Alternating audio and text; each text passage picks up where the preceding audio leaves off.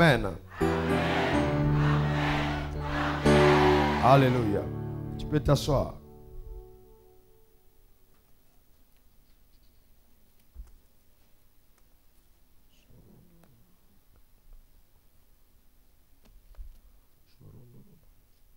Est-ce que je peux voir la main de ceux qui attendent quelque chose de grand ce soir?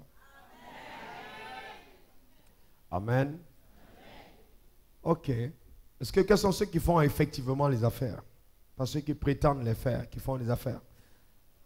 Qui font déjà les affaires, qui sont... Levez-vous, je veux voir.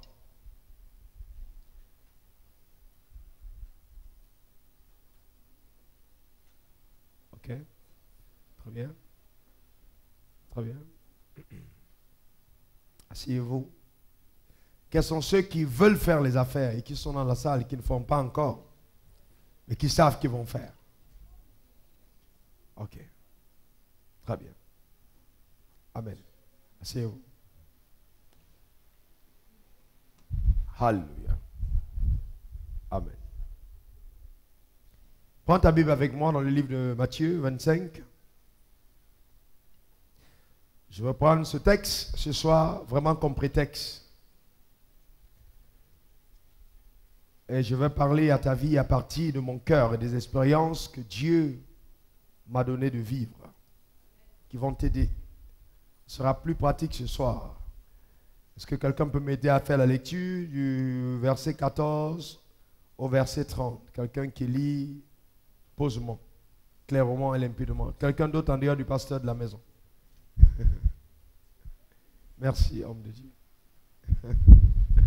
ok. Ma soeur, tu peux apprendre le micro On peut te donner le micro Ok. Matthieu 25, verset 14 à 30.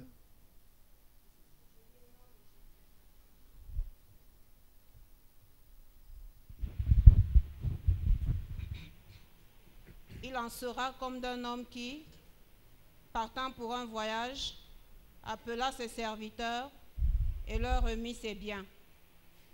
Il donna cinq Ok. talents. Euh, euh, on va lire, euh, tu vas souvent entrecouper. Il leur remit ses biens. À qui appartenaient les biens? À ceux à qui étaient remis ou à, celui qui remettait Les biens appartenaient à qui? À celui qui remettait. Très bien. Continue, ma soeur. Il donna cinq talents à l'un, deux à l'autre et un au troisième, à chacun selon sa capacité. Souligne dans ta Bible sa capacité. Souligne dans ta Bible sa capacité. Ok? Continue, ma soeur. Et il partit. Aussitôt, celui qui avait reçu les cinq talents s'en alla, Mhm. les fit valoir, et il gagna cinq autres talents. Euh, ça, va, vous- ça va vous paraître anodin, mais soulignez quand même cinq, cinq autres. Soulignez cinq autres si vous pouvez dans votre Bible. Continue, ma soeur. De même, celui qui avait reçu les deux talents en gagnant deux autres. Souligne encore deux autres quelque part. Ok Dans ta Bible. Deux autres. Ok Continue, ma soeur.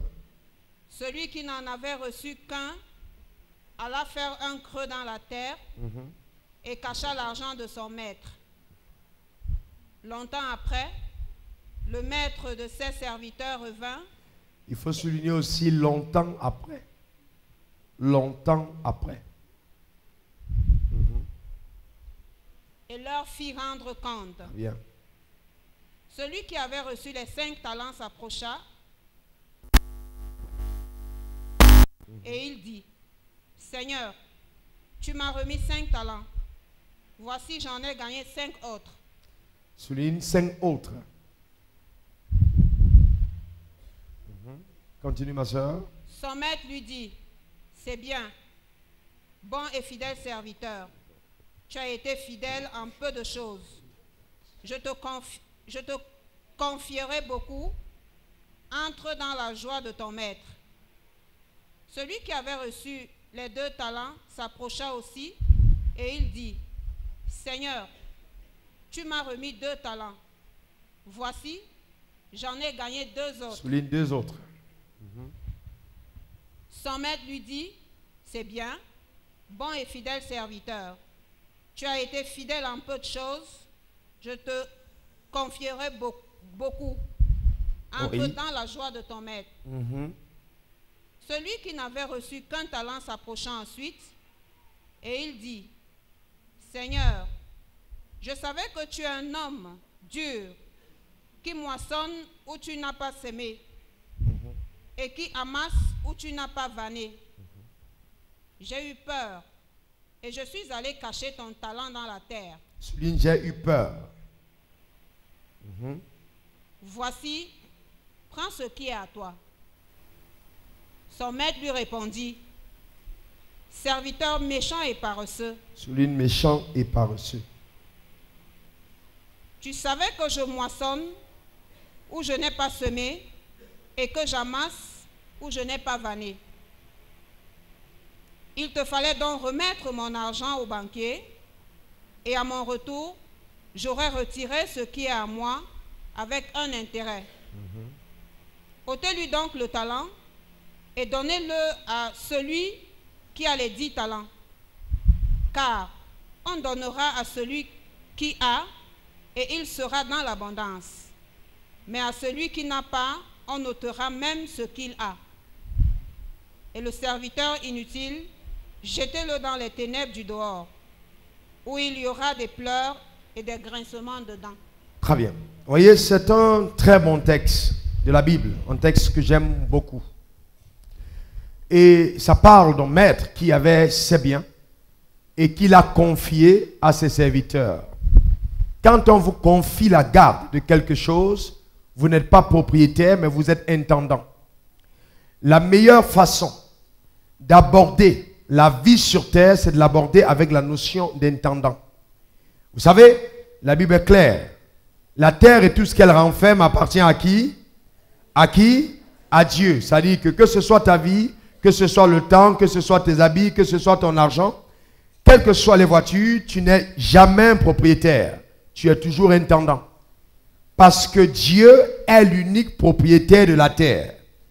Et tout ce que nous avons, nous devons nous considérer comme étant des intendants des propriétés de Dieu qui nous ont été confiées.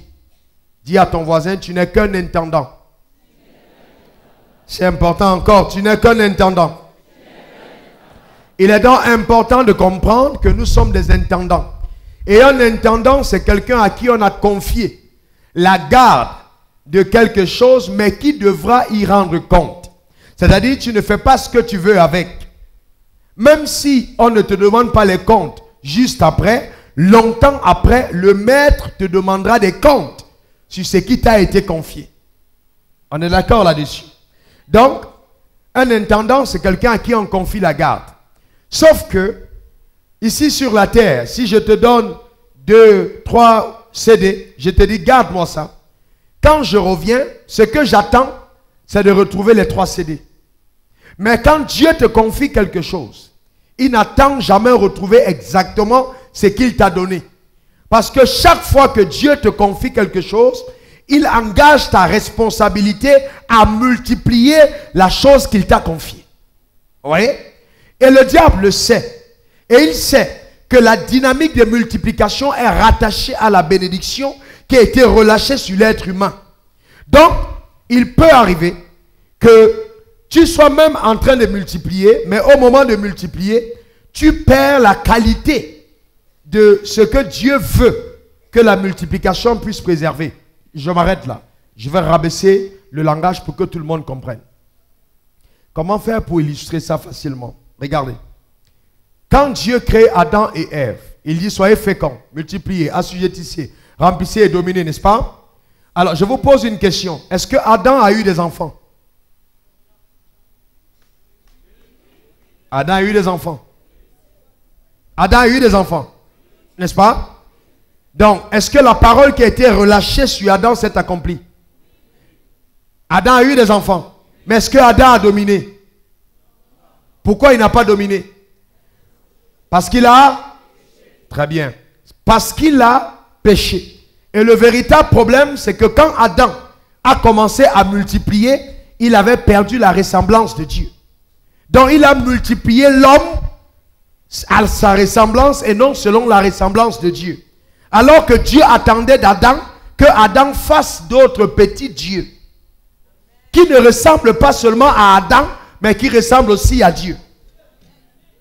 Ok? Je ne sais pas si je me fais comprendre. Parce que le diable est venu tenter Adam et Ève juste avant qu'ils aient eu leur enfant. C'est pour ça que la Bible dit clairement que quand Dieu a engendré Adam, il engendra à son image. Mais quand Adam, à son tour, a engendré ses fils, il, il les engendra à son image à lui. Donc, ils avaient perdu l'image de Dieu. Donc, je suis en train de vous parler des affaires, pas simplement pour gagner de l'argent, mais gagner de l'argent selon les méthodes et les principes de Dieu. Afin que cet argent garde la ressemblance de Dieu. Ce n'est pas une simple multiplication. D'accord? C'est important. Parce que j'ai vu beaucoup de messages qu'on a prêchés comme ceux-là, qui ont amené des personnes à devenir matérialistes au lieu de devenir spirituels.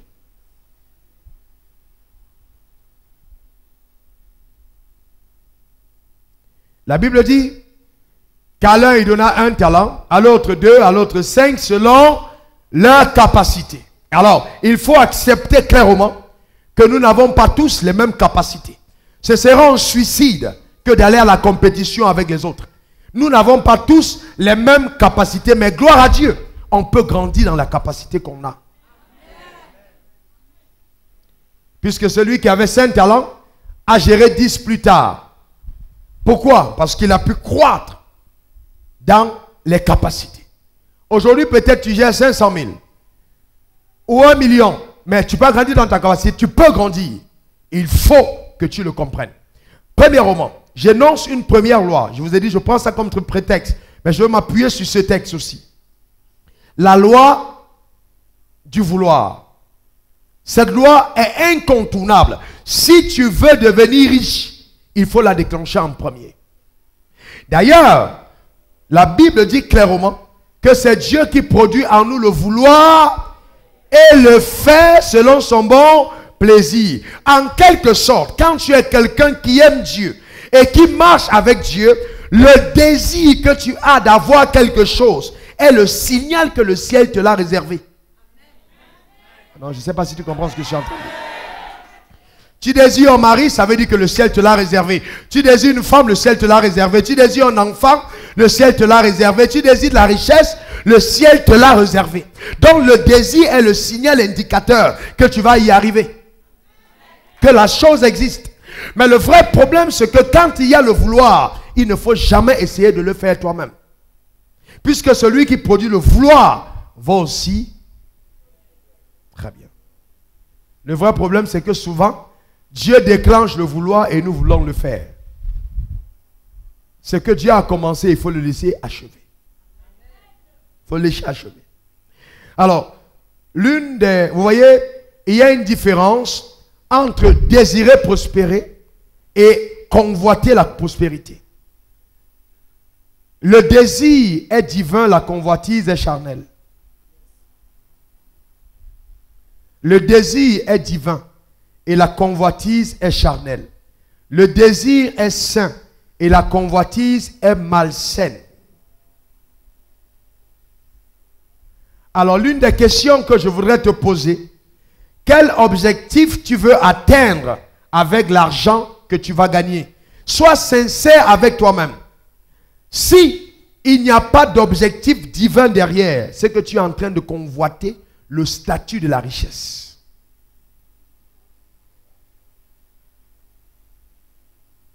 Je me fais comprendre? Donc il y a un désir et il y a la convoitise.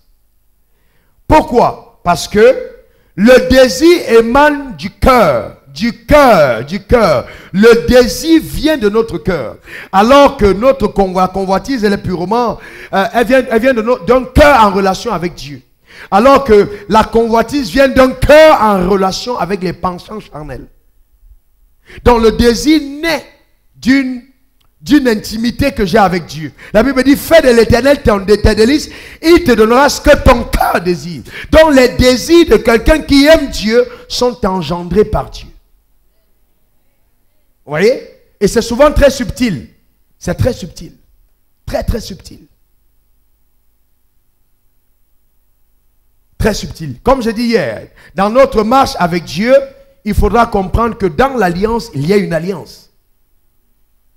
Qu'est-ce que Dieu Quel est l'intérêt de Dieu dans ce que je recherche? Si je crie, il faut que mon cri soit identique au cri de Dieu. Que mon cri rejoigne le cri de Dieu. Mes besoins, en fait, sont des besoins du ciel. Pourquoi est-ce que je désire avoir tant d'argent? Est-ce pour moi simplement ou parce que je veux voir l'œuvre de Dieu avancer? Est-ce que je considère le fait de gagner de l'argent comme étant un appel de Dieu? Vous savez, je ne vais pas vous parler de ces choses parce que beaucoup d'entre vous me regardez, je vais vous dire sérieusement, je vous parle à la base de, des expériences personnelles. J'ai travaillé ici à l'école biblique au Cameroun, j'ai touché 20 000 francs en 1995, 95, 96. J'ai touché 20 000 francs CFA. Le révérend Al peut vous dire, les registres sont là où j'ai signé. Je suis allé en Côte d'Ivoire de 99 à l'an 2000, je touchais 15 000 francs CFA. J'ai passé mes premières nuits dans une gare de bus par terre. J'ai fait trois mois dans un camp de réfugiés. Et je vais vous dire une chose. Si Dieu a été est en train de faire ceci dans ma vie, il n'y a personne, je dis bien, il n'y a personne qui, ne peut l'avoir. Ça dit c'est possible. Quand je te regarde, je ne doute même pas un seul instant que Dieu soit capable de révolutionner ta vie et de te bénir de la manière la plus insolente. Et je vais te dire quelque chose que tu dois garder à cœur. Le seul aide le plus cher dont tu auras besoin dans cette marche vers l'ascension, vers la gloire, c'est Dieu et Dieu seul. Tu n'auras pas besoin de quelqu'un d'autre. Toutes les personnes les plus importantes que j'ai rencontrées dans ma vie, je n'ai jamais demandé leur carte de visite. Jamais de la vie. Jusqu'aux hommes les plus riches. Jamais. Parce que j'ai appris une chose. Si Dieu a préparé quelque chose pour moi, il le fera. Je veux être fier de me regarder dans la glace et de savoir que Dieu a fait quelque chose. C'est pour ça que je n'accepte pas la manipulation, pas les jeux, pas les falsifications de témoignages, pas du tout. Si Dieu ne l'a pas fait, je me tais jusqu'à ce qu'il fasse. Ce n'est pas ma parole, c'est sa parole. Est-ce que vous me comprenez? Et je vais te dire que si ton cœur est résolu à voir Dieu dans l'action, tu le verras. Tu comprends? Donc il y a la loi du vouloir. Il faut le vouloir, premièrement. Et en ce qui me concerne, euh, je l'ai ressenti au fond de mon cœur quand en 1995, j'étais au carrefour à Aqua. Et cette année-là, j'étais vous voyez, à l'église. Et j'ai commencé, j'ai lu la Bible et commencé à demander à Dieu. J'ai dit, Dieu, mais pourquoi dans l'église, il n'y a pas de gens riches? Vous savez, et c'était pour moi un problème. Donc je jeûnais pour comprendre. Mais Seigneur, qu'est-ce qui se passe? Quand j'ai lu la Bible, la Bible dit que tu t'es fait pauvre pour qu'on soit devenu riche. Quand j'entre dans l'église, je ne vois pas la richesse. Vous voyez? Et ça a commencé à me déranger jusqu'un jour. Dieu m'a répondu clairement aux environs de midi au carrefour Bessengue. Je me rappelle encore comment, jusqu'à ce que, comme j'étais habillé ce jour, il m'a dit, fils, mes yeux parcourent la terre et je cherche des hommes et des femmes à qui je veux confier mon argent. Mais la majorité des personnes à qui j'ai confié mes richesses m'ont déçu par la suite. Alors, je préserve l'âme de mon église en les épargnant les richesses. Ça m'a choqué. Et il y a des personnes qui n'entreront jamais dans une dimension de provision parce que le ciel t'aime tellement pour te perdre. Je te dis sérieusement, pour te perdre. J'ai vu des gens qui ont reçu des bénédictions et qui ont abandonné l'église, abandonné la vie de prière, qui ont cessé de jeûner à cause de l'argent qui est entré dans leurs mains.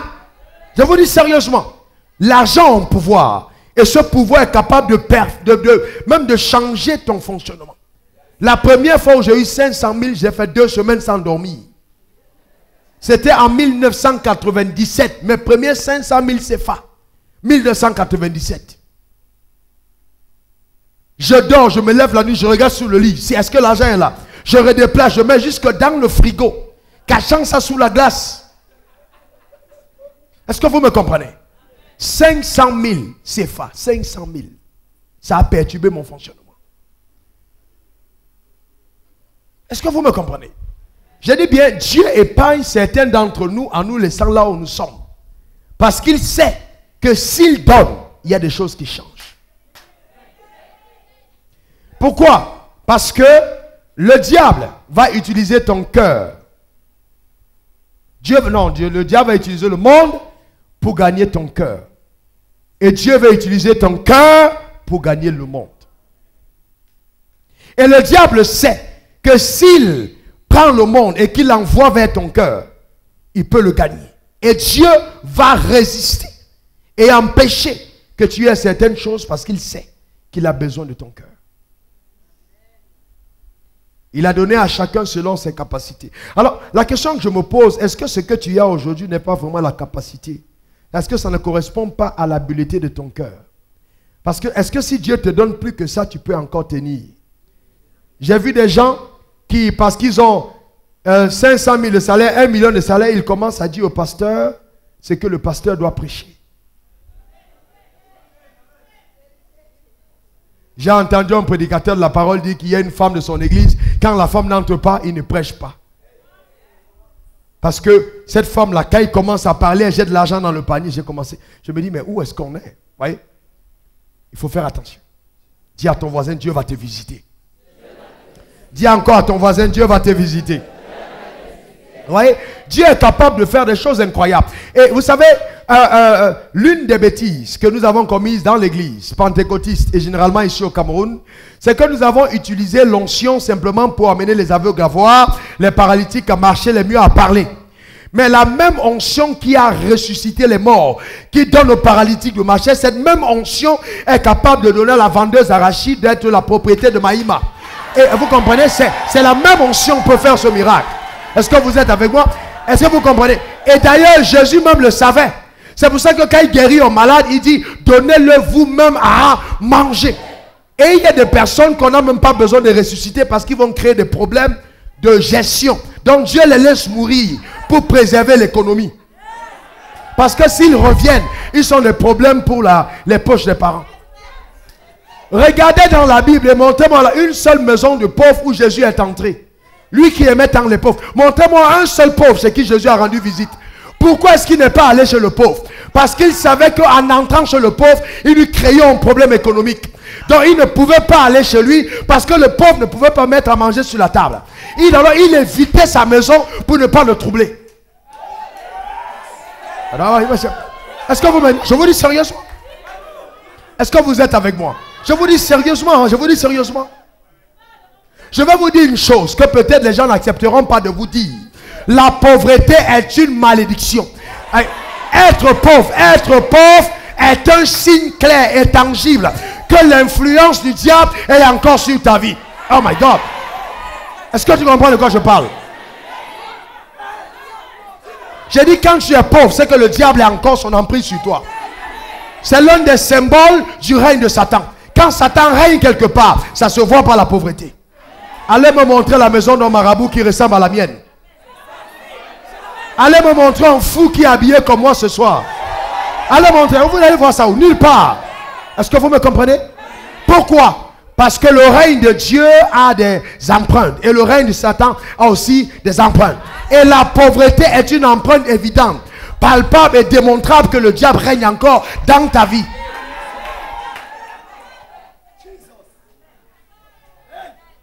Alors, je vous pose une question. Quand, attends, la pauvreté vient de quoi? Du péché.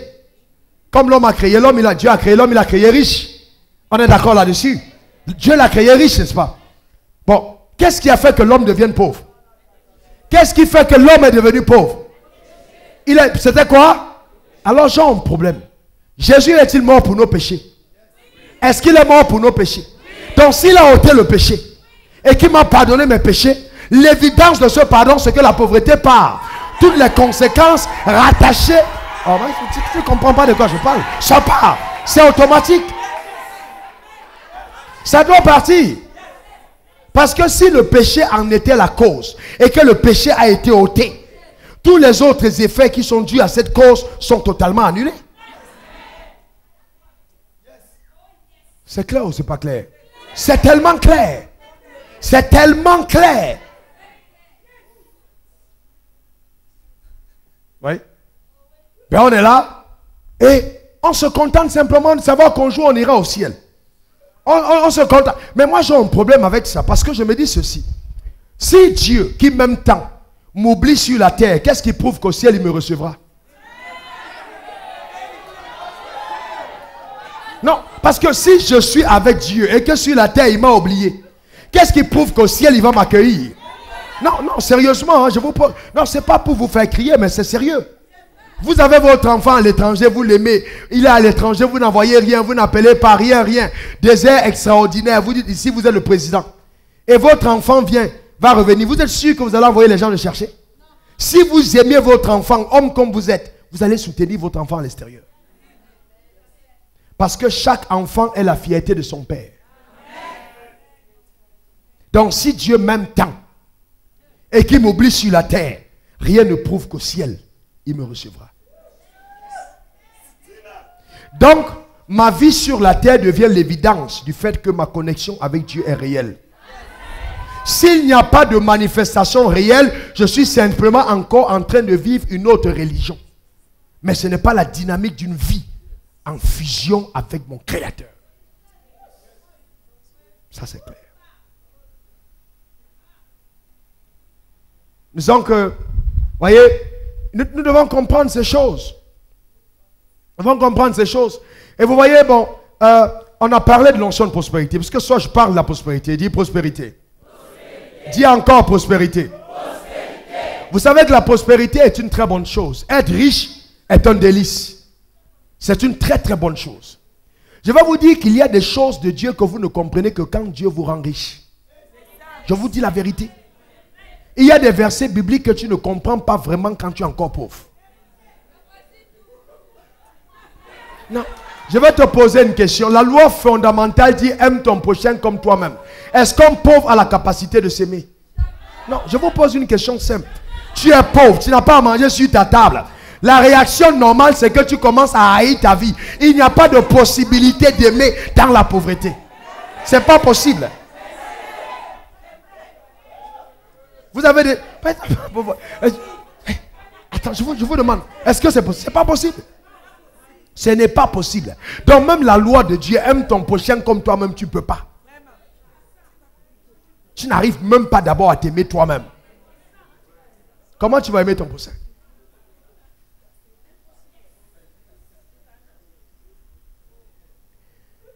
Et vous voyez, des gens arrivent et ils veulent jouer des trônes spirituels. Il y a des gens qui se sont égarés dans la compréhension des choses de Dieu. Ils commencent à jouer les trônes spirituels en montrant aux gens que non, vous savez, dans tous les cas, on ira au ciel, Dieu va nous consoler au ciel. Et je vais vous dire une chose, quelquefois, si vous ne faites pas attention, l'échec vous rend prisonnier de son environnement et vous dicte son message à prêcher. Écoutez-moi très bien. Pourquoi? Parce que quand vous durez quelque part et vous croyez en quelque chose, vous finissez par ne plus la voir vous commencez à enseigner aux gens que ça n'existe pas. Parce que si vous dites aux gens que ça existe, ils vont vous dire, mais pourquoi est-ce qu'on ne voit pas ça chez toi? Vous êtes obligé de dire aux gens, ça n'existe pas. Regardez généralement les gens qui critiquent le ministère de guérison ou de prophétie. C'est parce qu'ils ne prophétisent pas et il n'y a pas de miracle dans leur ministère.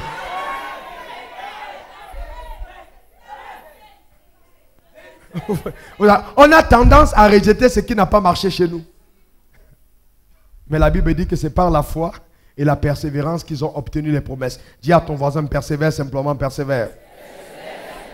Ah, dis à ton voisin, persévère simplement. Alors, puisque nous parlons de l'onction, nous parlons de l'onction. Qu'est-ce que c'est l'onction? L'onction, c'est une capacité surnaturelle que Dieu donne à un homme pour accomplir un mandat divin. Euh, l'onction, c'est une capacité surnaturelle capacité surnaturelle. Deutéronome 8, verset 18, je vous donnerai la force de prospérer et d'acquérir des richesses. Donc l'onction est une force, l'onction est une capacité surnaturelle que Dieu dépose en un homme ou en une femme pour que cette femme accomplisse le mandat de Dieu. On est d'accord? Donc ce n'est pas une capacité naturelle, c'est une capacité surnaturelle. Dis surnaturelle. Encore surnaturelle.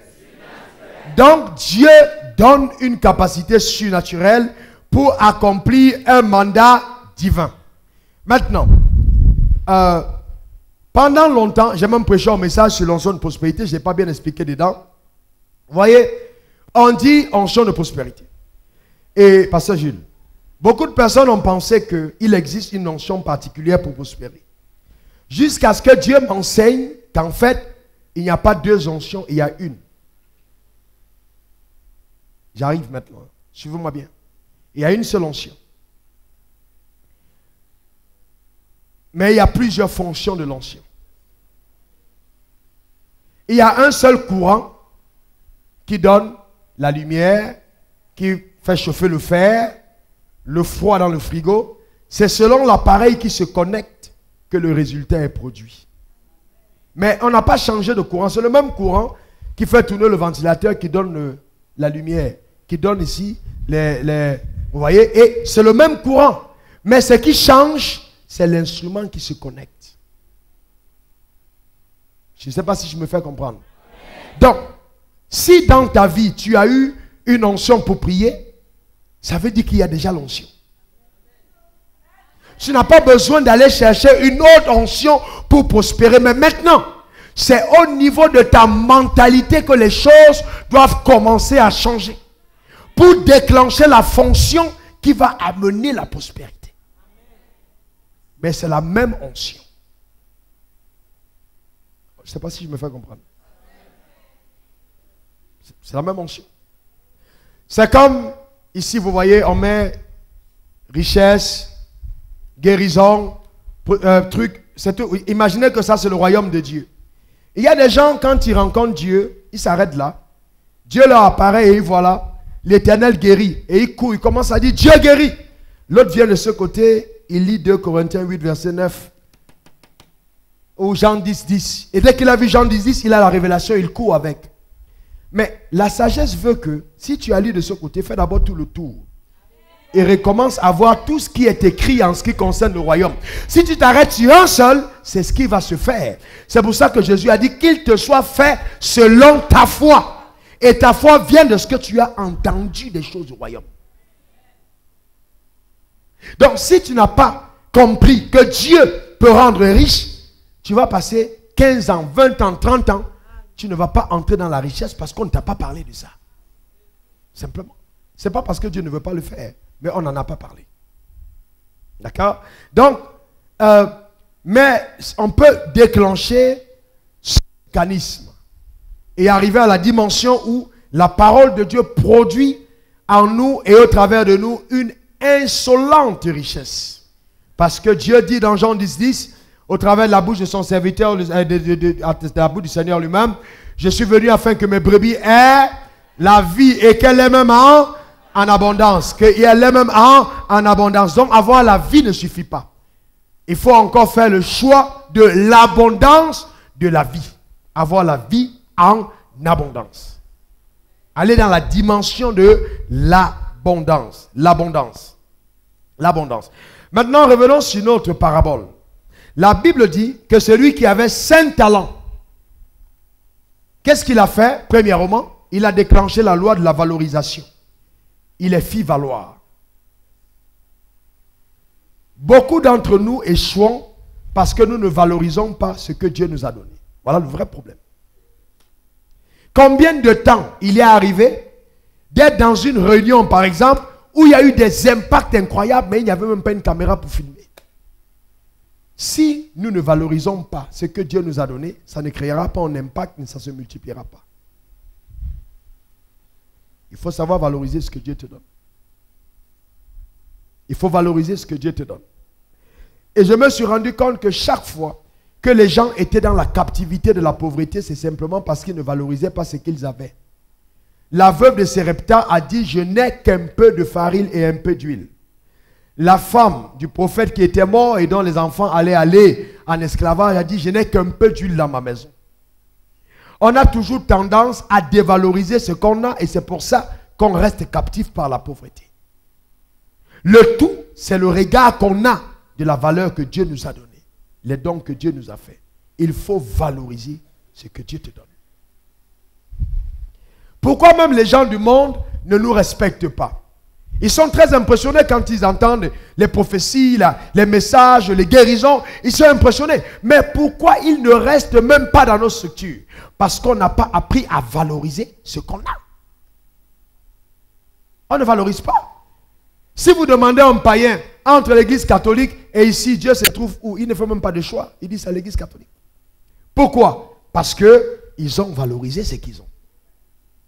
Quand tu arrives, tout est organisé, tout est propre.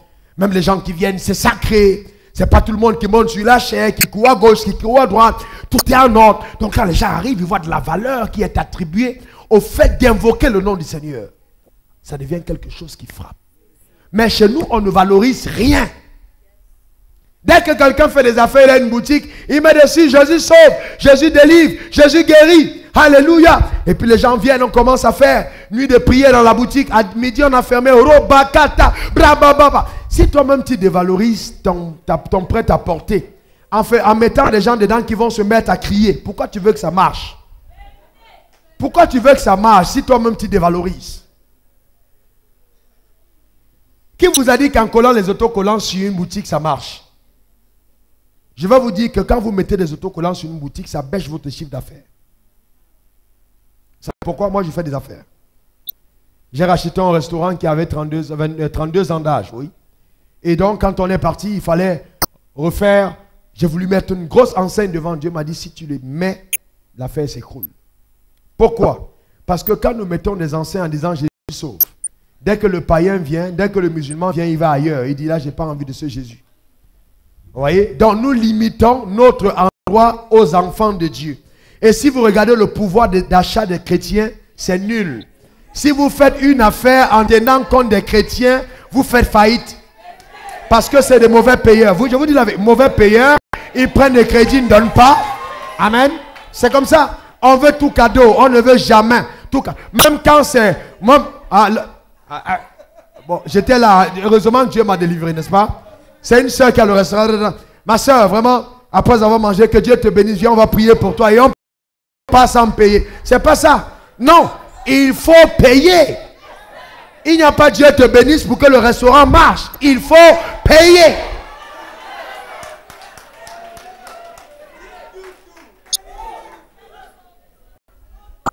J'ai entendu des histoires incroyables. Des hommes d'affaires qui sont tombés en faillite parce qu'ils ont prêté l'argent pour faire une croisade. Comment tu peux prendre ton capital, tu donnes un, programme pour faire une croisade Et puis tu espères, que Dieu va te faire prospérer. Tu es un mauvais intendant. Tu es un mauvais intendant. Ton chiffre d'affaires n'est pas là pour la croisade. Dieu n'a jamais voulu que ton chiffre d'affaires aille à la croisade. Ton chiffre d'affaires est là pour sécuriser la fructification du business. Et le bénéfice va aller dans l'avancement de l'œuvre de Dieu. Tu ne prends pas le capital. Quand j'entends ça, Pasteur Leslie, je suis choqué. Je suis choqué. Quelqu'un peut venir te voir avec 500 000. Oui, ah, ah bah, bah, vraiment, je veux faire une affaire avec ça. Bah, Dieu m'a dit, sème ça, tout ça. Et puis demain, les portes vont s'ouvrir. Comment ça va s'ouvrir? Comment ça va s'ouvrir? Comment tu peux prendre le capital de quelqu'un, tu dis, tu mets dans tes poches et puis tu dis, vas-y, Dieu va te bénir. Non, c'est pas possible. C'est pas possible. Mais si vous-même vous dites que Dieu vous a appelé à fructifier le capital que vous avez et que vous agissez de la sorte, comment vous voulez que Dieu vous fasse confiance? Comment vous voulez que Dieu vous fasse confiance? Non. Ce n'est pas, il faut, il faut, il faut que les choses se fassent dans un certain ordre. Donc, il faut valoriser. Dis après moi valoriser. Encore valoriser. Si tu valorises ce que Dieu t'a donné, tu ne le traites pas n'importe comment. Même ton capital, valorise-le. Il faut le valoriser. Il faut le valoriser. J'ai un ami qui est en Belgique, un grand homme de Dieu avec qui on a marché de 2000 en 2004. Il est parti après en Belgique. Il était loin. C'est un homme loin qui est encore très loin jusqu'à aujourd'hui. Mais quand on était ensemble, il se plaignait toujours du fait que quand il arrivait chez moi, il trouvait une télé, un frigo, ici et ça. Mais lui, on prêchait dans les mêmes endroits, mais il n'y avait pas le même résultat. Un jour, je lui ai dit, tu sais, le vrai problème, c'est que tu ne valorises pas ce que toi tu prêches. Moi, quand je prêche, j'enregistre. Après, je m'en vais mettre à distribution ce que j'ai enregistré. Donc, après, mon message peut continuer de faire de l'impact et continuer de se vendre. Et rapporter la plus-value de ma parole. Ne soyons pas comme nos dirigeants qui ont fait, ils ont fait le café cacao, c'est parti. Et puis quand c'est parti, les gens ont transformé ailleurs, ils sont venus nous vendre, on achète plus cher. Quand tu as la matière première, tu es riche. Tu n'as pas compris. Aussi longtemps que tu as la matière première, tu dois la transformer. Tu dois transformer ta matière première en cacao, euh, en chocolat, en ci, en Nesquik, en ci et ça. Parce que tu as la matière première.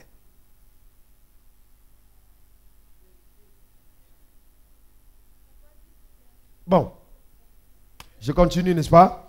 Celui qui avait 5 talents, en a gagné combien? En a gagné combien? En a gagné combien? Je vais te dire une chose. Le fait que tes affaires marchent, ce n'est pas la garantie que tu es en train de faire exactement ce que le ciel t'a demandé. J'ai vu des gens, ça que j'ai demandé le nombre de personnes qui font des affaires. Tu as une boulangerie, ça marche. Ça te fait un chiffre d'affaires annuel de peut-être 50 millions, je, dis n'importe quoi, peut-être 60 euh, millions de francs. Et puis tu restes là avec les 60 millions tout le temps. Tu dis, oh, pasteur, oh, voici m'a dit, voici, oh, j'apporte ça à l'église et tout. Trois ans, quatre ans, tu es en train de faire la même boulangerie. Cinq ans, la même boulangerie. Alors que Dieu a dit, soyez féconds. Après la fécondité, il faut t'assurer que ce qui a été accouché puisse ensuite se multiplier. Si tu t'arrêtes au seul fait d'avoir accouché, sans que l'enfant lui-même n'enfante, tu n'es pas en train d'obéir à l'ordre qui t'a été donné. Oui. Il faut que quand tu as fait une affaire, que cette affaire engendre une affaire et que l'autre affaire engendre encore une autre affaire. L'un des problèmes que j'ai vu avec vous les hommes d'affaires, c'est que vous vous pressez trop. J'ai connu quelqu'un qui avait 3 milliards, qui a bougé 3 milliards en moins d'un an. Quelqu'un qui est venu me voir pour que le coach, il avait 3 milliards et demi. En moins d'un an, les 3 milliards se sont ébranlés. Quand il est venu me voir, il avait créé 8 sociétés. Je lui ai dit, avec 8 sociétés, tu fais faillite. Pourquoi? Parce que Dieu n'est pas stupide. Dieu peut te donner 10 enfants, mais il te donne un après l'autre. Parce qu'il te donne le temps d'abord d'avoir fait grandir l'enfant. Quand l'enfant atteint un niveau, et puis tu engendres un deuxième. Mais si tu prends 7 8 enfants en même temps, c'est un problème. Tu ne peux pas gérer tout ça en même temps. Il faut avoir la capacité de voir grandir l'autre, et l'autre va venir après. La même chose dans les affaires. Il faut faire grandir les affaires avant de les multiplier. Et encore, veux bien la démonstration, si tu veux moi bien, celui qui avait cinq talents a rapporté. La Bible n'a pas dit qu'il a rapporté quatre parce que chaque talent devait ramener un. La question que je te pose, combien de talents Dieu t'a donné et combien fonctionnent vous savez, moi je prêche la parole, mais c'était un talent. J'enseigne, c'est un autre. Mais il y avait d'autres talents. Mais tu peux t'arrêter sur le succès d'un talent et commencer à croire que tu es en train de faire les choses de Dieu. Mais Dieu veut que chaque potentiel qui est en toi puisse être productif. Le tout n'est pas simplement qu'il y ait un qui marche. Il faut encore que chaque talent amène quelque chose en retour. J'ai dit à mes pasteurs, j'ai écouté, vous prêchez c'est bon, mais si vous avez des aptitudes à faire des affaires, monter des structures. Quelqu'un m'a dit un jour, oh, pasteur, tu sais, moi, Dieu m'a appelé à plein temps. J'ai dit, qu'est-ce qui est à plein temps, qu'est-ce qui est mi-temps Il me dit, non, Dieu m'a demandé de me donner entièrement aux écritures. J'ai dit, c'est parfait. Il n'y a aucun Vas-y à plein temps, vas-y, vas-y entièrement. Un autre jour, je le rappelle, j'ai dit, mais combien de temps tu passes à lire la Bible par jour, toi? Est-ce que tu as lu ta Bible une heure aujourd'hui? Non, pasteur. Tu as prié combien de temps aujourd'hui? Une heure? Non, pasteur. J'ai dit, bon. Si tu as plein temps, qu'est-ce que tu fais de ton temps? Donne-moi les descriptifs de la gestion de ton temps par jour. Parce que si tu dis je me donne à plein temps, j'attends au moins que tu mettes ton plein temps à faire les choses auxquelles tu as appelé. Mais si tu prends ton plein temps pour aller causer avec tes oncles, tes tantes tes amis à gauche, à droite, alors là, je remets en cause ton plein temps. Et il y a d'autres temps qu'on pouvait utiliser pour faire autre chose, sans que ça ne perturbe le fonctionnement de notre engagement.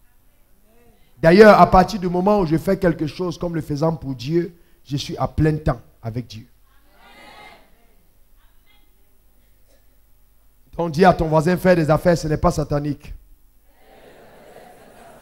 Encore faire des affaires, ce n'est pas satanique. Et vous voyez, les gens aiment s'identifier à ce qui est valorisé. Quand vous donnez de la valeur à quelque chose, les gens s'identifient. Même le rôle de la publicité, c'est de valoriser la marchandise. Vous ne pouvez pas avoir une marchandise de valeur et ne pas lui accorder de la valeur. Le packaging que vous mettez au bord de votre produit donne de la valeur à son contenu. Est-ce que vous êtes avec moi? Ne faites pas comme les marabouts qui disent aux gens, j'ai la possibilité de vous rendre riche et ils habitent les huttes. Si tu as un potentiel, il faut qu'il soit valorisé. Il faut valoriser le potentiel. Un jour, je suis allé au port, ici à Douala, en 1995, et donné un conteneur du centre de formation biblique de Douala. Quand je suis arrivé, je, prie beaucoup. Hein? Même si je n'attribue pas à la prière tout le succès que j'ai, mais je prie beaucoup. Donc, j'ai prié ce jour sérieusement. Et je suis allé au port. Quand je suis arrivé voir la, secrétaire du directeur général pour demander l'exonération du conteneur, elle m'a chassé du bureau. Authentique, une jeune dame. Monsieur, sortez, sortez, on ne veut pas vous voir ici. Il n'y a pas d'exonération. Je lui dis, je suis homme de Dieu, mais c'était alors pire. Allez-y là-bas, charlatan, tout ça. Donc, j'étais tellement blessé, mais je suis sorti tellement blessé que je suis allé prier. Et j'ai prié en larmes. Vous savez, souvent on pleure devant Dieu comme si on l'impressionne avec nos larmes. Et puis Dieu m'a simplement dit, quand j'ai commencé à prier, il y a un, j'ai appelé un ami pour la prière, d'accord, Dieu m'a dit, arrêtez de prier, j'étais exaucé. Va à la maison, change-toi, habille-toi différemment, parfume-toi. Une apparence de quelqu'un qui peut rencontrer un directeur général. Est-ce que vous me comprenez? J'ai pris mon costume, je me suis changé, je me suis parfumé, je suis arrivé au même secrétariat, j'ai demandé le même homme, j'étais la même personne, mais la femme m'a vu différemment. Et je me suis fait accompagner par quelqu'un qui portait mon sac. Elle, a dit, elle s'est dit, ce gars doit être important. Et avant même qu'elle ne me réponde, j'étais déjà dans le bureau du directeur du port. Qui s'est levé et qui m'a tendu la main pour me saluer. Et il m'a demandé, monsieur, qui vous êtes? Je lui ai même pas dit qui j'étais. J'ai dit, je suis venu prendre l'exonération pour un de mes pasteurs qui a besoin de ça. Il a fait venir son conteneur. Donc il n'a même pas eu le temps de réaliser que moi-même j'étais pasteur. Mais c'était mon leader qui m'envoyait. Il a pris le papier, il a regardé, il a dit c'est pas grave, il a appelé sa secrétaire, il a signé, on m'a donné le document. Après il m'a demandé, monsieur, qui vous êtes? Et je me suis présenté à lui. Il dit, je suis un ministre de l'évangile. Et il m'a demandé, prie pour moi. Vous comprenez? C'était la même, c'était, c'était la, la même onction, mais mis dans des vases différents, valorisé différemment. Est-ce que vous me comprenez? Je vous dis quelque chose que vous allez aimer, homme. Même quand je dors la nuit, même quand je dors la nuit, si ma femme se réveille et elle me trouve couché, en aucun moment elle ne peut se tromper. Elle a un homme de valeur couché sur le lit. C'est-à-dire que, vous savez, le problème c'est quoi? Souvent, vous devez vous valoriser même dans votre sommeil. Même quand vous dormez la nuit, on vous regarde, on dit non, ce gars, il a de la valeur. Ça veut dire, il ne faut pas porter un costume à l'apparence et puis tu dors le soir, la culotte est percée. Non, vous comprenez? Même quand je vais aller au lit, je repasse mes vêtements que je mets pour dormir sur mon lit. Est-ce que vous me comprenez? Parce que même ma femme doit valoriser mon corps quand je dors. La loi de la valorisation est importante. Elle est vraiment importante. Souvent vous vous étonnez, une femme, vous l'avez connue, elle vous a aimé, tout ça. Et après tu peux dire, ah, elle dit, ah, mais qu'est-ce qui la pousse à faire dire, ah, elle a vu des choses qui ont enlevé la valeur que tu as. Il faut garder une valeur sur ton aide, partout où tu te trouves, même dans le lit. Les gens vont dire, ah, ce gars, il est charnel. Mais c'est pour ça que j'ai demandé à Dieu, mais pourquoi les principaux sacrificateurs devaient porter des calissons en lin blanc? Même le calisson était en lin blanc, ce n'est pas la cape, même dedans. Il m'a dit à cause de leur femme. Parce que même quand tu dors, tu ne perds pas ton sacerdoce. C'est important de les garder. Hein, dis à ton voisin, dis valorise, valorise, valorise. Il faut valoriser.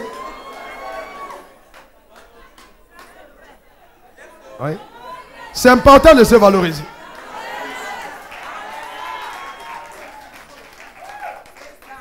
Quand vous accordez la valeur, les gens ont envie de traiter avec vous. ils veulent traiter avec vous parce que vous accordez de la valeur. Donc vous devez vous accorder de la valeur. Quand tu t'accordes la valeur, c'est automatique que les connexions commencent à se mettre en marche à cause de cette loi que tu as mis en marche.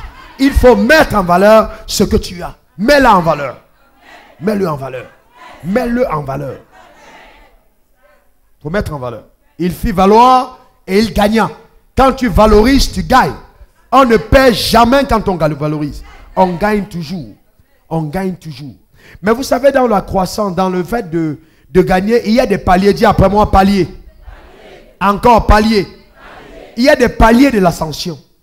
N'attendez pas devenir multimillionnaire, milliardaire en un jour ou en un mois. Non, il y a des paliers. Et la véritable prospérité, la réelle, celle qui vient de Dieu, commence dans ton système de pensée. Ça commence là dans la tête. C'est dans la tête que ça... Ne vous trompez pas. Vous allez reproduire exactement les pensées que vous avez. Donc, si tu penses que tu es pauvre et que tu es là, ça dit tu vas rester pauvre. C'est dans la tête que ça se passe. Dans la tête. Ça se passe dans la tête. Déjà ici, vous demandez à Alphonse Seidi, Yves Kamga, ces hommes de Dieu qui sont là, on a été ensemble dans le ministère ici. Quand je gagnais mes 25 000 par mois, je prenais 12 500 que je changeais en billets de 500 et je partageais à tous ceux qui travaillaient avec moi ici au centre de formation biblique de Douala. Je partageais 12 500 de mon argent. Et j'ai amené mes gens qui étaient avec moi dans le ministère. Touchant le même salaire que moi, ils ont commencé à m'appeler l'homme prospère. Pourquoi? Parce que je valorisais ce que j'ai. Il faut apprendre à se prendre au sérieux. C'est une loi spirituelle tellement importante. Il faut se prendre au sérieux. Vous savez, certaines choses anodines, par exemple en tant qu'homme de Dieu, vous ne me verrez jamais dans une salle d'attente en train d'attendre quelqu'un une heure, deux heures de temps pour être reçu. Parce qu'aussi longtemps qu'il me fait attendre, il se met en valeur et me dévalorise. Je n'attends pas. Parce que j'ai de la valeur. Et je n'accepte pas que quelqu'un vienne à l'église me dire oui, oh pasteur, Dieu m'a mis à cœur de te bénir. Je dis stop. Tu ne peux pas me bénir. C'est ça le problème que vous avez, certains d'entre vous, hommes d'affaires. Vous pensez, non, je viens de le bénir le prophète Kamdem, bénir l'homme de Dieu. Vous ne pouvez pas bénir un homme de Dieu. Hébreu 7, verset 7 dit, sans contredit. C'est l'inférieur qui est béni par le supérieur. Donc c'est impossible un inférieur de bénir un supérieur. Ce n'est même pas possible. Donc ce que vous faites, vous êtes en train de vous bénir. Vous ne bénissez pas un homme de Dieu. Ce n'est pas possible. Vous n'avez pas le pouvoir de bénir un homme de Dieu. Ce n'est pas possible. Non, je vais te bénir. Non, dis tout. Il faut que les choses soient à leur ordre. Donc, ça commence dans le système de pensée. Et il y a un ordre, il y a un ordre, il y a un ordre dans cette croissance vers l'élévation. Il y a des choses qui ne doivent jamais changer. Vous devez apprendre, un, à honorer Dieu, deux, à respecter et honorer ses serviteurs. Parce que vous êtes des intendants de Dieu. Et vous devez comprendre qu'en tant qu'homme d'affaires, vous n'échappez pas aux principes fondamentaux du royaume de Dieu qui dit que le royaume de Dieu est bâti sur la soumission à l'autorité établie. Ce n'est pas parce qu'on est riche qu'on devient insoumis. Non, on garde l'attitude de soumission même dans le processus d'élévation. Ce que beaucoup d'hommes de Dieu ne savent pas, mon père spirituel, Al-Rahman, ne paye jamais d'hôtel à Abidjan. Quand il arrive en Côte d'Ivoire, dès qu'il met le pied sur le sol, que je sois présent ou absent, une voiture le cherche et on le loge à mes frais. Parce que ça ne va jamais changer. C'est une autorité. Quel que soit ce que je deviens, je respecte cette valeur. Est-ce que vous me comprenez? Souvent, j'ai vu beaucoup de personnes passer à côté de ce que Dieu veut faire dans leur vie parce qu'il y a des valeurs qu'ils ne respectent pas. Il faut respecter certaines valeurs. Un homme de Dieu se respecte. Quelqu'un qui vous a impacté dans la vie, respectez-le. L'argent ne va pas vous amener à considérer les autres comme des riens. Non, respectez. Vous savez, vous voulez que Dieu vous élève, ayez du respect pour vos semblables. Respectez-les. Respectez-les. Vous comprenez? Respectez. Il faut les respecter. C'est important d'avoir du respect pour les gens. Ça va vous ne pouvez pas simplement poursuivre l'argent au détriment des valeurs réelles. Il y a un palier de croissance. Dans le premier palier, je dois maintenir toutes les valeurs divines en moi pour commencer mon ascension. Et à chaque palier, les tests vont venir pour voir si je continue de donner à Dieu la priorité ou au gain la priorité. Dieu devra toujours avoir la première place dans vos cœurs. La première place. La première place. La première place dans vos cœurs.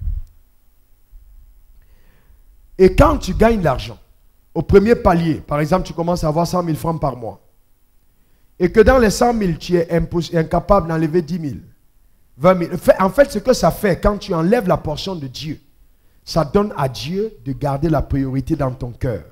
Les gens qui ne payent pas la portion d'alliance, qui n'apportent pas la part de Dieu à Dieu, commencent à bâtir des idoles dans leur cœur. Vous voyez Vous donnez la possibilité aux idoles de prendre la place de Dieu dans votre cœur. Mais si Dieu est la priorité, vous lui donnez en priorité. C'est important. C'est vraiment important. Et donc, je vous donne un témoignage euh, sur le palier de la croissance. Quand euh, j'ai commencé euh, le ministère, en 1998, j'ai reçu une prophétie en Sierra Leone. Un ami que je connaissais là-bas à l'école missionnaire a prophétisé sur ma vie. Il m'a dit que Dieu t'envoie en Côte d'Ivoire. Et je savais déjà, il m'a dit que Dieu va te rendre extrêmement riche, tellement riche. En l'an 2000, on m'a répété la même prophétie aux États-Unis, en Philadelphie. Une dame a prophétisé sur moi, elle ne me connaissait même pas, elle était quelque part, et puis Dieu lui a donné un numéro de téléphone, elle a appelé, elle dit, je veux parler au missionnaire qui est dans cette maison. C'est une des intercesseurs de Bénin. C'est la prophétie la plus authentique que j'ai vue de ma vie. Je n'ai même jamais rencontré cette dame jusqu'à aujourd'hui. Elle m'a dit, voilà, tant, tant, tant, tu travailles tes situations, mais Dieu m'a dit, tant, voilà, je te vois monter sur une... Elle a commencé à déclarer des choses. Mais vous savez, en ce moment, j'avais rien entre ma main. Alors je suis rentré, j'ai dit, Seigneur, où tu dis vrai, ou tu mens? Si pour ma vie continue toujours d'être misérable. Je suis fatigué d'attendre la fin du mois pour avoir le miracle de 90 000. Je ne peux plus rester là à témoigner. Non, Dieu m'a visité, j'ai payé mon loyer 90 000. Je veux sortir de là. Et j'ai compris dans la Bible qu'il y a un temps où Dieu fait tomber la manne et la caille pour te faire survivre jour après jour. Mais si tu ne fais pas attention, tu vas passer 40 ans à tourner en rond en recevant la manne et la caille. J'ai dit, Dieu, je suis déjà grand. Je ne veux plus que tu choisisses mon repas à ma place. Maintenant, laisse-moi le soin d'aller à la terre promise et de choisir ce que je veux manger. Ne me dicte plus mon heure de repas. Je ne veux plus que tu choisisses à quelle heure je mange, à quelle heure je ne mange pas ce que je mange. Je veux entrer maintenant dans tout ce que tu m'as annoncé. J'ai fait sept jours de jeûne, sept nuits de jeûne. Au septième jour, j'ai entendu une voix qui m'a dit envoie un million pour soutenir les missionnaires en, euh, Afrique centrale. J'ai pris autorité, j'ai dit esprit de distraction, je prends autorité. La troisième fois, le Saint-Esprit m'a dit, c'est moi que tu lis. Authentique que tu es en train de prendre l'autorité sur moi-même. Je me suis repenti. Je suis sorti de cet endroit. J'ai commencé à bénir le Seigneur. Je savais en moi que quelque chose s'était passé. Vous savez, souvent le plus dur, c'est de réussir à saisir l'instruction de Dieu. C'est comme la clé qui va te faire ouvrir la porte. Vous voyez? C'est pour ça que même quand il y a des appels de fonds à l'église, que les gens font, j'ai dit à l'église, ne répondez pas à un appel de fonds tant que Dieu ne vous a pas parlé dans votre cœur. sinon, vous passez à côté du miracle. Il faut que dans votre cœur, vous ayez saisi la révélation qu'il y a une clé que Dieu est en train de me donner pour ouvrir une porte. Alors j'ai pris mon téléphone, j'ai appelé le révérend, ah, j'ai dit, Dieu m'a mis à côté de l'homme. Il m'a dit, waouh, Dieu t'a béni en Côte d'Ivoire. Vous savez quelle était ma réponse? J'ai dit, oui, Dieu m'a béni en Côte d'Ivoire. Je suis riche. Dieu m'a béni. Mais je n'avais pas d'argent. Je ne vous demande pas de faire ce genre de vœu, hein, parce qu'il faut avoir l'audace de le faire si vraiment tu entends Dieu t'avoir parlé. On m'a invité en mariage quelques jours après. Ce n'était pas un message que oui, Dieu va te lever, Dieu va te bénir, c'était sur le mariage. La puissance de Dieu est descendue dans la salle. L'onction était là, c'était vraiment tangible. Les femmes pleuraient. Et donc, un homme est venu me voir. Il était tout petit, avec des babouches. Il, n'avait pas l'apparence de quelqu'un d'important. Et vous savez, à cette époque, je me prenais déjà pour le gars, le super-héros. Hein? Quelqu'un m'avait offert une, vieille voiture là où j'avais mis mon chauffeur. Vous vous savez, souvent, quand on n'a rien, on commence à développer des attitudes de... Vous savez, souvent, il y a des attitudes qui démontrent qu'on est encore justement au petit palier. C'est le, le, palier de ceux qui sont encore en train de rêver. Et qui commencent à croire qu'ils sont arrivés, mais ce n'est que le début. Alors le gars de corps est venu en disant, oui, et vous savez, j'étais content, j'avais un gars de corps qui me protégeait. Le Saint-Esprit m'a dit, reçois cet homme. J'ai dit, laissez le gars passer, laissez-le venir. Je regarde le pied, elle a des babouches. Bon, je m'attendais peut-être au moins que quelqu'un vienne avec une cravate comme je suis habillé, sapé. Là, j'ai dit, ok, laissez-le. Ouais, souvent, et j'ai vu dans la vie que les gens qui ont visité mon ministère financièrement avaient l'apparence des veufs ou des veuves. Ils n'avaient jamais l'apparence des personnes qui pouvaient faire quelque chose. Donc quand il est venu, il me dit, homme de Dieu, il tremblait, il tremblait, il dit, homme de Dieu, Dieu m'a mis à cœur de te donner 15 millions. J'ai failli, j'ai failli tomber, sérieux. Le seul jour, j'ai failli me couler. Et j'ai entendu, heureusement qu'on a le Saint-Esprit. Le Saint-Esprit m'a dit, comme si tu me parles à l'oreille, comporte-toi comme si tu déjà reçu 15 millions dans ta vie. parce que j'ai failli paniquer, le Saint-Esprit me dit, ne panique pas du tout. Fais comme si tu déjà reçu 15 millions. Et puis je dis, ok, ok, d'accord. D'accord. Comment ça va se passer? Tu me donnes ça comment? Il me dit, non, non, non, non, non. Donne-moi ton numéro au téléphone. Lundi, je passe chez toi. Dis-moi où tu habites ou à tes bureaux, je passe te voir. J'avais pas de bureau, mon bureau était dans ma maison. Je lui dis, bon, lundi, je travaille pas, mais je suis à la maison.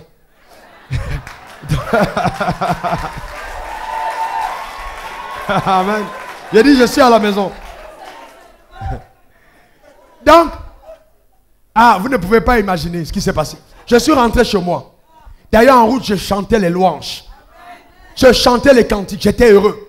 Mais dès que 19h est arrivé, et c'était de samedi à dimanche. Donc, la nuit de samedi, le diable est venu me dire Ah, tu n'as même pas pris le, le numéro de téléphone du monsieur. Tu ne sais pas où il habite. Il va changer la vie. D'ailleurs, il va aller dans une église demain. Et puis, un pasteur va prêcher. Quand le pasteur va prêcher, il va détourner l'offrande. Donc j'ai commencé à prier, vraie prière, je l'ai prié de ma vie. Je me suis repenti. J'ai dit Seigneur, je l'aveugle. Je bouge ses oreilles par la foi. Il n'entendra pas. D'ailleurs, qu'il tombe malade cette nuit, qu'il n'aille pas dans cette église. Je le parle. Vous voyez?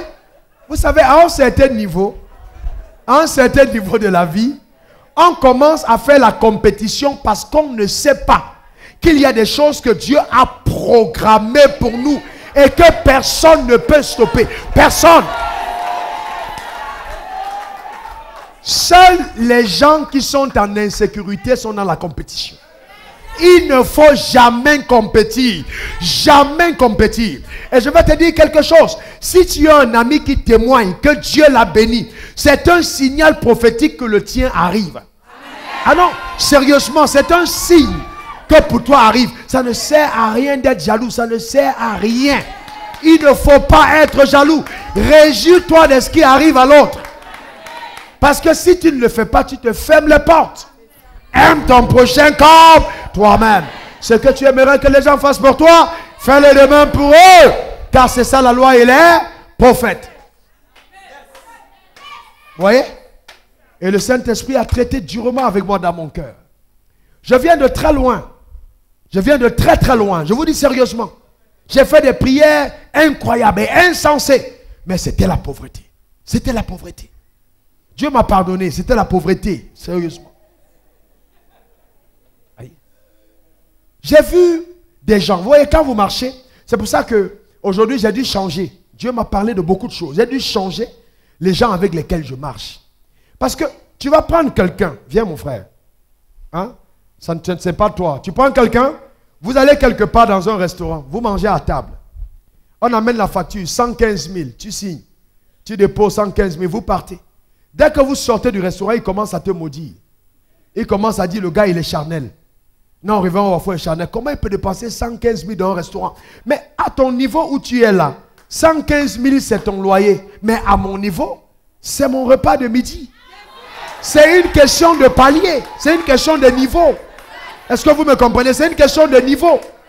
Au lieu d'apprendre en te disant que, mais, si je paye mon loyer à 115 000 et que quelqu'un paye un repas au restaurant à 115 000, ça veut dire qu'il me faut encore grandir. Donc si tu es sage, tu dis non, je dois progresser. Si tu n'es pas sage, tu commences à maudire celui qui atteint un certain palier et tu n'arrives plus jamais à ce palier. Pourquoi? Parce que tu as raté le mouvement de la connexion. Vous comprenez? Tu as fermé la porte du mouvement de la grâce dans ta vie parce que tu n'as pas pu interpréter.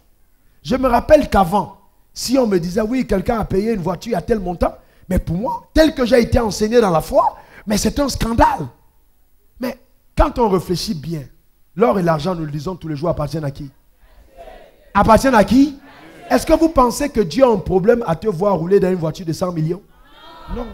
Il n'a aucun problème. Je dis bien aucun. Mais au niveau de ta capacité, ça peut être un problème. Mais Dieu n'a pas ce problème. Nous avons des problèmes que Dieu n'a pas. Il n'a pas ce problème. Le problème de Dieu, est-ce que tu es en train de faire avec mon argent ce que j'ai demandé?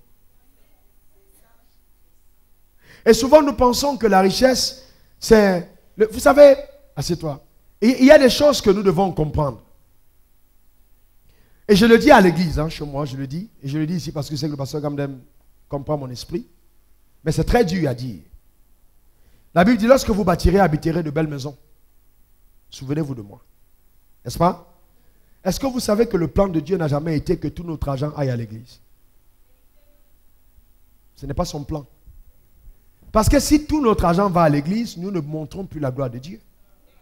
Dieu veut prendre une portion de cet argent pour l'église et une autre grande portion pour épanouir nos vies et faire prospérer nos entreprises. Est-ce que vous êtes avec moi? Donc, ce n'est pas simplement. Non, c'est ta vie elle-même est le reflet de la puissance de Dieu. Ta maison est le témoignage de la vie de Dieu. Là où tu dors, ça témoigne que Dieu est grand. Tu ne peux pas dire que Dieu est grand et puis on entre chez toi, c'est un désordre. D'ailleurs, ta maison est le reflet de ta communion avec le Saint-Esprit. Oui. Dieu n'a pas de problème, c'est nous qui faisons un problème. Il n'a aucun problème. Vous pensez que c'est un problème pour Dieu de te donner un milliard et que par mois et que chaque mois tu viennes avec 200 millions pour donner à l'église? Il peut le faire. Ce n'est pas un problème. Mais le problème, c'est nous, c'est notre cœur. Est-ce que nous sommes prêts à obéir aux instructions que Dieu nous donne? Est-ce qu'on est prêt? J'ai vu des gens qui attendent que oui, Dieu bénit moi. Et puis même, c'est pas possible. Si, tu ne, si le, le, moindre est à moindre intégrité, tu ne l'as pas. Comment tu attends que Dieu te visite? Il faut être intègre. Est-ce que tu es à même, si aujourd'hui Dieu te rend visite, d'apporter à l'évangile dans ton église ce que Dieu te demande de faire, tu vas le faire? J'ai vu dans plusieurs églises que ce sont les hommes d'affaires qui sont les moins infidèles à la portion d'alliance. Il y a une dame pour laquelle j'ai prié, elle a gagné un marché de 150 millions de bénéfices. Elle est à l'église, elle est venue me voir. Elle me dit, Daddy, euh, j'ai gagné 150 millions. Je dis, ok, c'est gloire à Dieu. Elle me dit, mais il faut que je te dise la vérité. Je dis quoi? Elle me dit, donner 15 millions, c'est beaucoup pour moi. Et vous savez ce qu'elle avait dans sa main? Un million. Elle dit, vraiment, papa, vraiment, prends les 1 million là. Je, lui ai dit, tu sais, d'abord, un, c'est pas à moi que tu donnes. Je bénis ta sincérité parce que tu aurais même pu me dire, comme Ananias et Saphiras, voilà ce que j'ai. Mais au moins tu as dit la vérité. Je lui ai dit, ok. Si tu as un problème à t'accommoder à 15 millions de semences, minimum, c'est-à-dire vraiment 15, parce que les hommes d'affaires comme toi devaient donner au moins 30. Si tu as un problème à signer un chèque de 30 millions pour l'église, tu es en train de te disqualifier. Un mois plus tard, jour pour jour, un mois plus tard, on l'appelle pour un énorme marché. Et elle m'appelle. Elle me dit, il faut prier pour moi. Elle, m'apporte tous les documents de marché. Elle devait gagner 2 milliards 700 de bénéfices. Elle tremblait comme une feuille. Elle me regarde, je lui dis, j'ai un problème avec ce marché. Elle me dit quoi? J'ai dit, je crois que l'argent que tu avais gagné avant était le test de Dieu pour que tu gagnes ce marché. On va invoquer la miséricorde de Dieu. Mais quelque chose au fond de moi me dit que tu es pas, tu as raté le test. Tu vas rester à ce niveau d'abord, jusqu'à ce que tu puisses régler les problèmes de 150 millions pour aller au milliard. Vous voyez? Je lui ai dit la vérité. Vous savez, ce n'est pas tout le temps quand quelqu'un vient compris avec la personne. Il faut enseigner. J'ai dit non, là, il n'y a plus. Si, on, tu vas gagner 2 milliards maintenant, mais si tu n'as pas pu donner 15 millions, comment tu vas faire pour donner 270 millions? Elle parle en langue. Hein? Parle en langue. Alors que j'ai vu des catholiques qui ne sont même pas baptisés, qui n'ont pas cru, qui signent un chèque 150 millions, homme de Dieu. Tu as prié pour moi, tiens, voilà ma, voilà ma sémence. Un autre catholique donnait 100 millions, comme ça, chèque, voilà ma sémence. Sans trembler. Et je me pose des questions, je dis, mais qu'est-ce qui arrive à l'église? À certaines personnes. Et à la dernière minute, on a tout fait. Elle m'a même dit, ok, Daddy, viens, on a besoin de quelqu'un qui a un compte important, viens me cautionner et tout. Mais au fond de moi, je savais que ça n'allait pas passer quelque chose. Vous savez, quand vous connaissez Dieu, mais comme c'était ma fille, j'ai dit, bon, j'ai invoqué la miséricorde. J'ai dit, il faut tout ça, mais bon. à la dernière minute, on a déjoué le marché pour quelqu'un d'autre. Elle a perdu près de 10 kilos. Je lui ai dit, c'est pas grave. C'est pas parce que tu as échoué le concours d'entrée en sixième que la sixième est défendue. Tu peux simplement reprendre la classe. Et puis aller dans la classe supérieure l'année prochaine. Vous voyez? Mais vous savez, il y a des paliers. Quand tu n'as pas franchi les batailles d'un certain niveau, tu ne vas pas à un autre. Vous comprenez hein?